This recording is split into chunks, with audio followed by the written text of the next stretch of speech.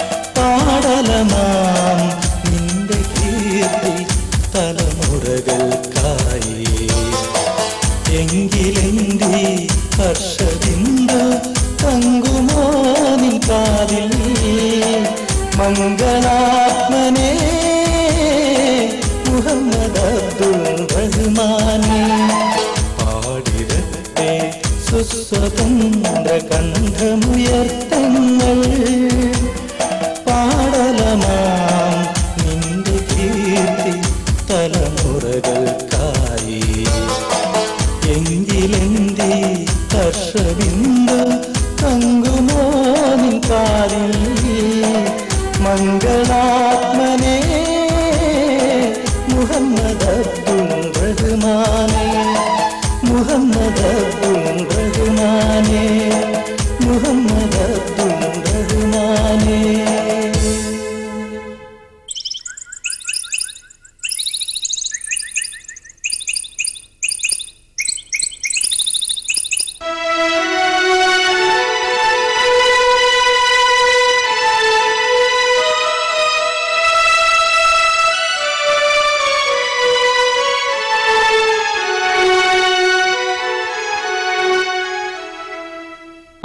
രണ്ടു ദിവസമായിട്ട് തന്നെ പുറത്തേക്കൊന്നും കണ്ടില്ലല്ലോ. എന്തു പറ്റി? വായനയുടെ മൂടിൽ പുറത്തേക്ക് ഇറങ്ങാൻ തോന്നിയില്ല. പുസ്തകത്തിനകത്ത് തന്നെ മുഖവും പൊഴുത്തു വെച്ച് ദേ ഇന്നിപ്പോ നിന്റെ മുഖത്ത് നോക്കി തന്നെ ഖുറാനും ഹദീസും വായിക്കാം. വെറുതെ അല്ല നിന്നെ എല്ലാവരും പുസ്തക എന്ന് വിളിക്കണത്. ഇത് അങ്ങനെയുള്ള വായനയായിരുന്നില്ല. പിന്നെ? നീ വായിക്കാൻ തന്ന അബുൽ കലാം ആസാദിന്റെ ഖിലാഫത്തൻ ജസീറത്തിൽ അർബെന്ന ഈ പുസ്തകമായിരുന്നു. ദാ നിന്റെ പുസ്തകം. ഓഹോ താനിത് മുഴുവൻ വായിച്ചോ? താരുമ്പോ എനിക്ക് തീരെ പ്രതീക്ഷ ഇല്ലായിരുന്നു ആട്ടെ വായിച്ചിട്ട് എന്ത് തോന്നി? ഒരുപാട് വൈകിപ്പോയെന്ന്. എന്തിന്? സ്വാതന്ത്ര്യത്തിന്റെ മഹത്വവും അത് നമ്മുടെ ജന്മാവകാശവുമാണെന്ന് മനസ്സിലാക്കാൻ ഞാൻ ഏറെ വൈകിപ്പോയെന്ന് this serve to ഡിസക്കേഴ്സ് we deserve nothing less than freedom മുഹമ്മദേ നീ പറഞ്ഞത് തികച്ചും ശരിയാണ്. വെള്ളക്കാരന്റെ അടിമപ്പണിക്കാരനാകാൻ മാത്രം ഉപകരിക്കുന്ന ഈ കലാലയ വിദ്യാഭ്യാസം നമുക്ക് ആവശ്യമില്ല. നമുക്ക് ഇന്ന് തന്നെ ഇവിടെ വിട്ടു പോണം. എങ്ങോട്ട്? നാട്ടിലേക്ക്. ഇത്ര പെട്ടെന്ന്? നമ്മളിപ്പോ തന്നെ ഒരുപാട് വൈകിയില്ലേ? മാതൃരാജ്യത്തിന്റെ സ്വാതന്ത്ര്യത്തിനു വേണ്ടി പോരാടാൻ തൊഴിലാളികളോട് പണിശാലകളും വിദ്യാർത്ഥികളോട് പാഠശാലകളും ഉപേക്ഷിക്കാൻ ഗാന്ധിജി ആഹ്വാനം ചെയ്തിരിക്കുകയല്ലേ? അതൊക്കെ ശരി തന്നെ. എങ്കിലും പഠിപ്പ് ഉപേക്ഷിച്ച് പടയണി ചേരണമെന്ന് നീ തന്നെയല്ലേ ഇന്ന് ആവേശപൂർവം സംസാരിക്കാറുള്ളത്? അതെ. എന്നാലും ഇക്കാര്യത്തിൽ വീട്ടിലേക്കൊന്ന് എഴുതി ചോദിക്കണ്ടേ? എന്തിന്? ബാപ്പയുടെ ഉമ്മയുടെ സമ്മതം വാങ്ങണ്ടേ?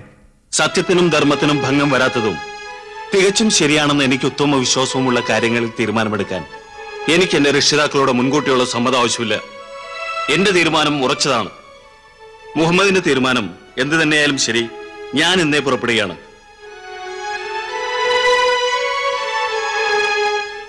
മൗലാന അബ്ദുൽ കലാം ആസാദ് രചിച്ച ഖിലാഫത്ത് ആൻഡ് ജസീറത്തുൽ അറബ് എന്ന ഗ്രന്ഥം മുഹമ്മദ് അബ്ദുറഹിമാന്റെ ജീവിതയാത്രയ്ക്ക് പുതിയ ദിശാബോധം പകർന്നുകൊടുത്ത ഗ്രന്ഥമായിരുന്നു.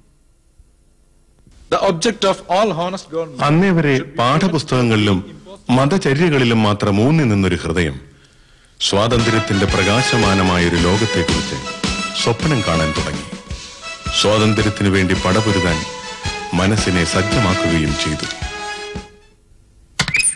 Good morning sir yes good morning here is my resignation സ്വാതന്ത്ര്യ സമരത്തിൽ പങ്കെടുക്കുന്നതിനായി താൻ കോളേജ് ഉപേക്ഷിക്കുകയാണെന്ന് പ്രസിഡൻസി കോളേജിന്റെ പ്രിൻസിപ്പാളിന് രേഖാമൂലം എഴുതി കൊടുത്ത് സ്വാതന്ത്ര്യ സമരത്തോട് ഐക്യദാർഢ്യം പ്രഖ്യാപിച്ച് അദ്ദേഹം നാട്ടിലേക്ക് വണ്ടി കയറി.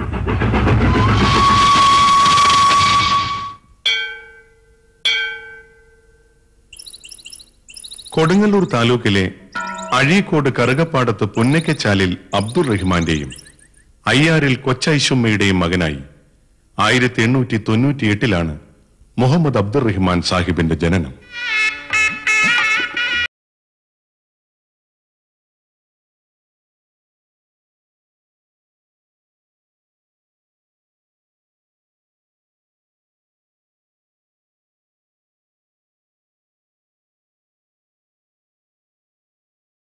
Now mark another big difference between the natural slavery of man to nature. ധിഷണാശാലിയായ ആ വിദ്യാർത്ഥി പഠനകാര്യങ്ങളിൽ എന്നും മുൻപന്തിയിലായിരുന്നു. വിട്ടുവീഴ്ചയില്ലാത്ത മതനിഷ്ഠയും ആ വ്യക്തിത്വത്തിന് മാറ്റുകൂട്ടി സ്വർണത്തിന് സുഗന്ധമെന്ന പോലെ. ഉദ്യോഗത്തിനും ബിരുദത്തിനുമൊന്നുമല്ലെങ്കിലും കുറെ കൂടി പഠിക്കണമെന്ന് അബ്ദുറഹ്മാൻ ആഗ്രഹിച്ചു. ജന്മനാടിന് സ്വാതന്ത്ര്യം നേടിയെടുക്കാൻ കലാലയങ്ങൾ ഉപേക്ഷിച്ചവർക്ക് വേണ്ടി തുടങ്ങിയ ഡൽഹിയിലെ ജാമിയ മിലിയ കോളേജിലും അലിഗർ മുസ്ലിം യൂണിവേഴ്സിറ്റിയിലും ചേർന്ന് പഠനം ആരംഭിക്കാൻ അതുകൊണ്ട് തന്നെ അദ്ദേഹം നിശ്ചയിച്ചു. നിർഭയനും സമർപ്പിത ചേതസ്സുമായൊരു നേതാവിന്റെ സാന്നിധ്യം കേരളത്തിലെ ദേശീയ പ്രസ്ഥാനത്തിന്റെ പ്രവർത്തനത്തെ ചൈതന്യവത്താക്കുമെന്ന് മനസ്സിലാക്കിയ അബ്ദുൾ റഹ്മാന്റെ അധ്യാപകരായ മൗലാന ഷൌക്കത്ത് അലിയും മുഹമ്മദ് അലിയും ഉടൻ മലബാറിൽ പോയി പ്രവർത്തിക്കണമെന്ന് സാഹിബിനോട് നിർദ്ദേശിച്ചു. അലിഗറിൽ നിന്നും ഒറ്റപ്പാലം സ്റ്റേഷനിൽ വണ്ടിയിറങ്ങി മുഹമ്മദ് അബ്ദുൾ റഹ്മാൻ നേരെ പോയത് കോൺഗ്രസിന്റെ ഒന്നാം കേരള സംസ്ഥാന രാഷ്ട്രീയ സമ്മേളന നഗറിലേക്കാണ്.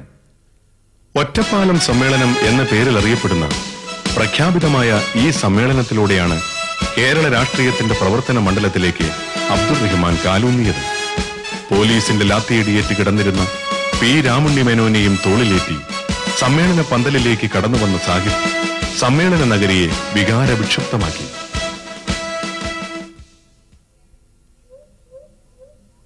തന്റെ പ്രവർത്തന മണ്ഡലമായി അബ്ദുൾ റഹ്മാൻ തിരഞ്ഞെടുത്തത് മലബാറായിരുന്നു. കൊച്ചിയിലും തിരുവിതാംകൂറിലും നിലനിന്നിരുന്ന രാജഭരണത്തെക്കാൾ എതിർക്കപ്പെടേണ്ടത് ബ്രിട്ടീഷ് മേൽക്കോയ്മയാണ് എന്ന തിരിച്ചറിവാണ് മലബാർ കേന്ദ്രീകരിച്ച് പ്രവർത്തിക്കാൻ സാഹിബിനെ പ്രേരിപ്പിച്ചത്.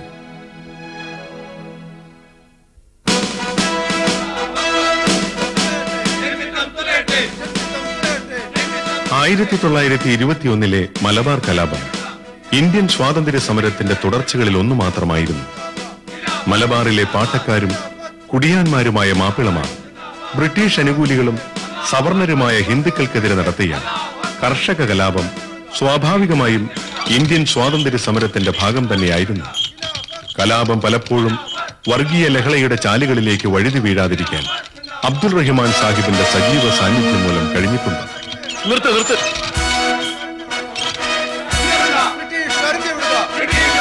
സർവശക്തനായ അള്ളാഹുവിന്റെ നാമത്തിൽ ഞാൻ നിങ്ങളോട് അപേക്ഷിക്കുകയാണ്. ദയവായി ശാന്തരാകുവിൻ. ഇഹത്തിലും പരത്തിലും കൂട്ടാവേണ്ട എന്റെ പ്രിയ സഹോദരന്മാരോട് എനിക്ക് പറയാനുള്ളത് എന്താണെന്ന് കേൾക്കാനുള്ള സബൂർ നിങ്ങൾ കാണിക്കണം.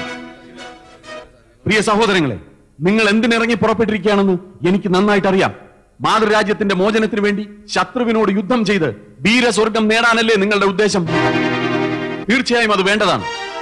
ഒരു മുസൽമാനായ എനിക്കും നിങ്ങളോടൊപ്പം ഈ ധർമ്മയുദ്ധത്തിൽ പങ്കെടുത്ത് വീരസ്വർഗം പ്രാപിക്കാൻ ആഗ്രഹമില്ലാഞ്ഞിട്ടാണോ? എന്റെ പാവപ്പെട്ട സഹോദരങ്ങൾ ഒന്ന് ഓർക്കണം. നാം വീരസ്വർഗം പ്രാപിക്കുമ്പോൾ അനാഥരാകുന്നത് നമ്മുടെ മക്കളാണ്. ആലംബം നഷ്ടപ്പെടുന്നത് നമ്മുടെ മാതാപിതാക്കൾക്കും സഹോദരിമാർക്കുമാണ്. ദുഃഖിതരും അശരണരുമായ നമ്മുടെ മാതാപിതാക്കളും സഹോദരിമാരും ശത്രുക്കളാൽ പരസ്യമായി അപമാനിക്കപ്പെടും.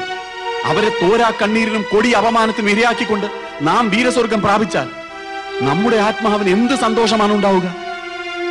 മാപ്പിള മലയാളം നാളെ കൊടുന്തീയിൽ വെന്തരിയും. അതിൽ നിന്നും ഉയരുന്ന ധൂമപടലം നാം ആശിക്കുന്ന വീരസ്വർഗത്തിൽ നമ്മെ ശ്വാസം മുട്ടിക്കും അതുകൊണ്ട് അക്രമത്തിന്റെ പാതയിൽ നിന്ന് നിങ്ങൾ പിന്തിരിയണം. സമാധാനമായി പിരിഞ്ഞു പോകണം. നാം ആഗ്രഹിക്കുന്ന